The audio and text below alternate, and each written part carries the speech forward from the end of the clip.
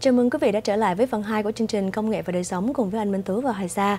Thưa quý vị, trước khi trở lại chương trình thì Hoài Sa xin được chia sẻ địa chỉ email cũng như là số phone mà quý vị có thể gửi những cái thắc mắc và câu hỏi của mình vào với chương trình. À, thưa quý vị, địa chỉ email đó là công nghệ com và quý vị có thể nhắn tin vào số phone là 469 383 8184 thưa quý vị.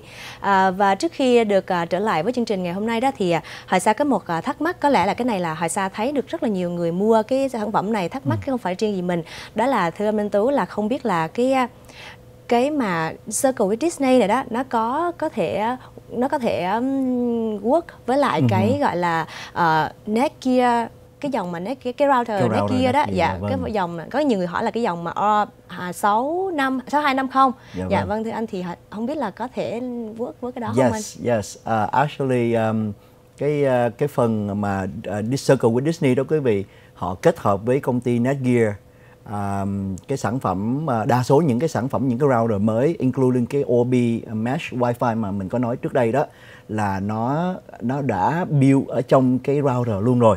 Dạ, vâng. cái nghĩa là tất cả những uh, quý vị nào mà có sử dụng Netgear router là những cái dòng mới sau này đó thì cái Circle with Disney đã có rồi. Thành ra chúng ta không cần phải mua cái hộp này nữa. Mình chỉ cần download cái app thôi thì yeah. Dạ. à, ngay vài phút nữa mình tôi sẽ chỉ cho quý vị cách setup như thế nào nhưng mà trả lời cái, cái câu hỏi của Hoài Sa đó là những cái Netgear router nó đã có sẵn cái phần hardware rồi mình chỉ cần ứng dùng cái ứng dụng này mình setup thôi. Dạ vâng, vậy thì những cái gia đình nào mà quý vị đã mua cái Netgear, cái router mà Netgear hoặc yes. là Orbi thì ừ. quý vị không cần mua thêm cái dụng cụ của cái Circle Disney này nữa. Vì những trong trong cái Netgear đó đã có sẵn cái à, chương trình rồi đó.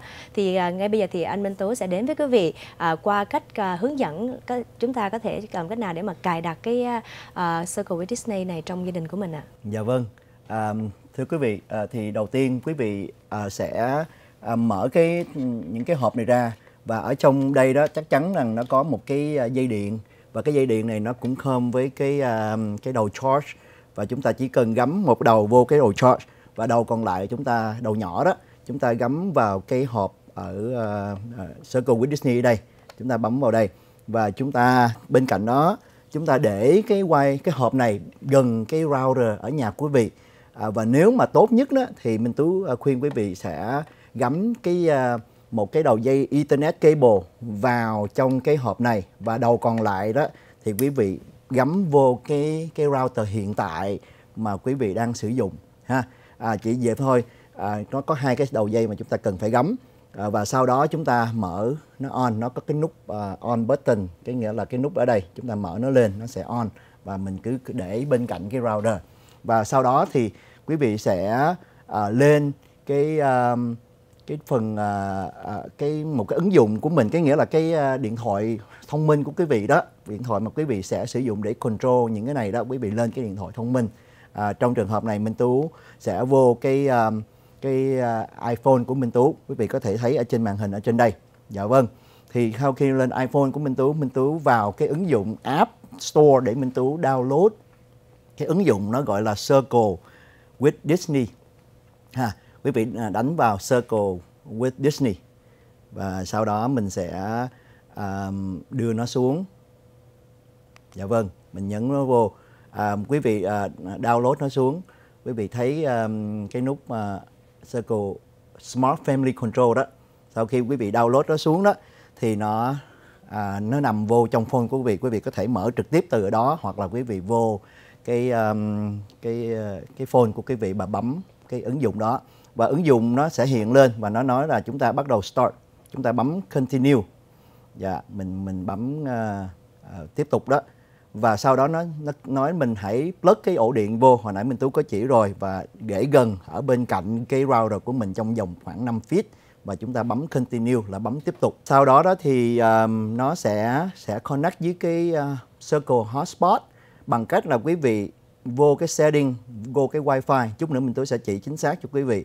Để làm chi? Để cái điện thoại của quý vị kết nối trực tiếp với cái hộp à, Circle with Disney này.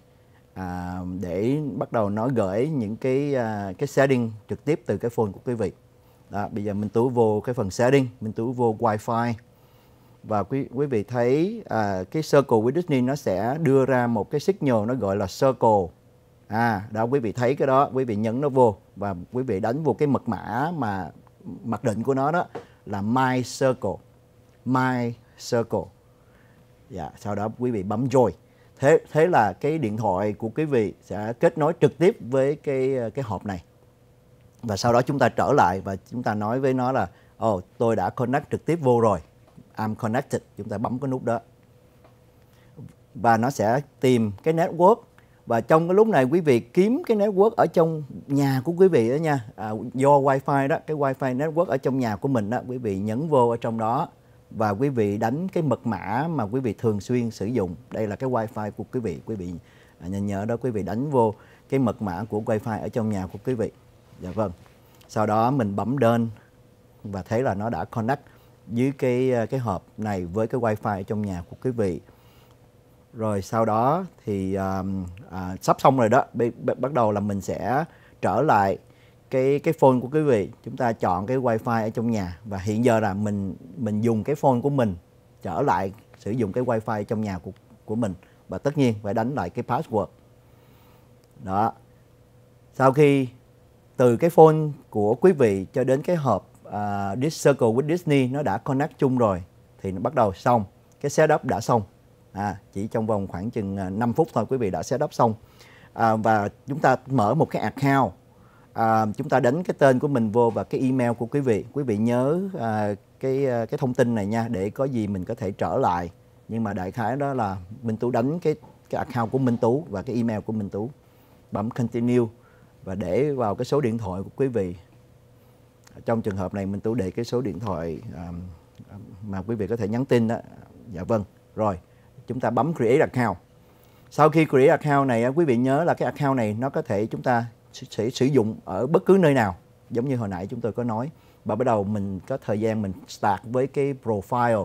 Cái nghĩa là mình tạo cho mỗi người trong gia đình một cái cái uh, cái account. Ở trong cái uh, cái circle Disney này thí dụ như uh, bé một là là em bé số 1 đó thì mình tú uh, chọn cái hình. Mình tú chỉ lấy một cái hình nào uh, giả bộ thôi dạ vâng. Rồi bé số 1 đã có một cái profile rồi. Bây giờ mình sẽ set up nè. À, trong cái đây là cái filter mà hồi nãy chúng tôi có nói đó là các em có những cái phần khác nhau từ trẻ em cho đến người lớn cho đến teenager.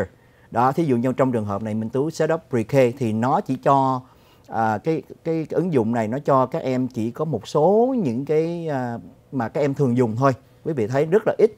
Thí dụ như Disney uh, YouTube hay là PBS vân vân những cái ứng dụng đó.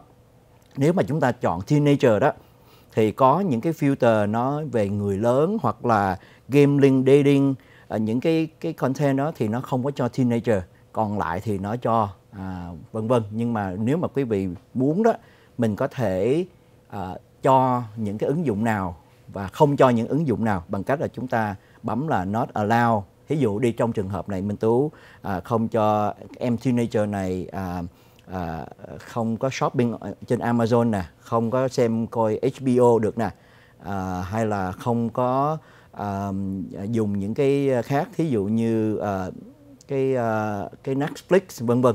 Dạ vâng. À, rồi quý vị cũng có thể à, à, block những cái categories thí dụ như những cái gì mà không cần thiết uh, chơi online hoặc là online shopping mình tôi block nó luôn bằng cách là bấm vô cái nút đó. Và đây đây là cái time limit.